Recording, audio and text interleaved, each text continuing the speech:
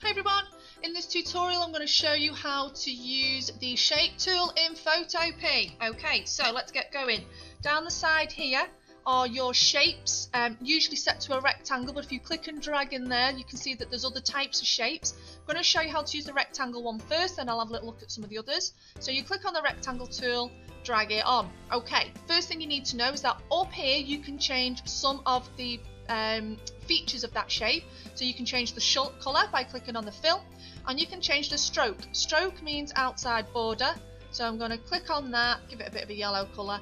Usually set to 4 for some reason, which is quite thin. So I'm going to change it to 20. Press enter and it allows you to set that around your shape. Now, that's a simple way of making some simple edits to a shape.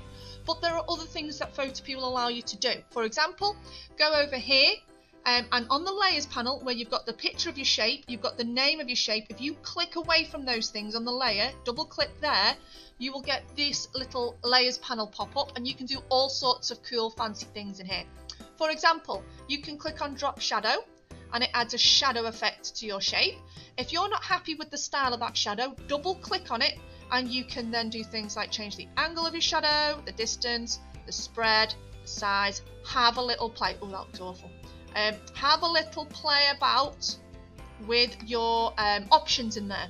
There's something called a bevel and emboss.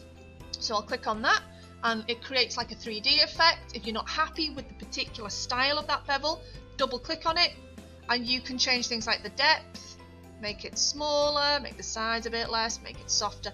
Play around with these um, options. Don't see this as being a really complex looking um, toolbar play with it, okay? You'll learn by playing. There's other things to do in here as well. So you've got gradients, you can stick a gradient on there and you can play about with the cut different types of gradients. There's lots of things you can do. I want you to play, play, play, okay? Final thing to do in this layers panel, you can actually set up a really nice sort of effect with your shape and maybe you want to apply that to other shapes in your project. Well then you, before you press OK, click on define new. It says style is added and where it's added, it's added to this little drop down menu. So there's the style, the custom style that I've just made. Then press OK. Alright, then when you draw a new shape, you can double click on it again in the layers panel go to your drop down menu and click on that style that you've just defined, press OK once, and there you have it. I've got two exactly the same shapes. Right, that's a rectangle. You can do exactly the same thing with an ellipse, which is a circle. Um, again, you can do simple edits up here in this part, or you can do more complicated edits in this part. Okay, press OK.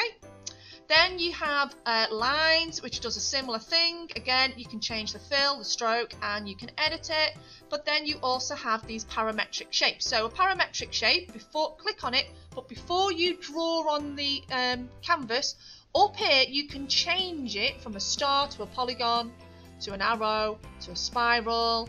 You can change the length of that spiral. I'm going to make it a star and I'm going to have 10-sided star.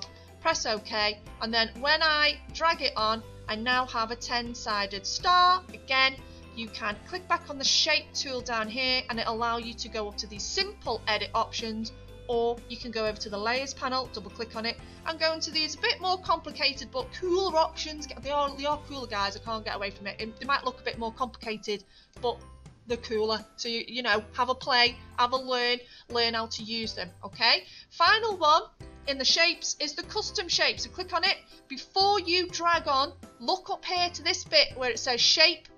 Click in there. I searched for arrows on my last search, but if I just search for nothing, you can see that there's loads of custom shapes that you can use. Oh, look, there's like a little uh, plane. I'd love to go on a plane now. Go somewhere nice.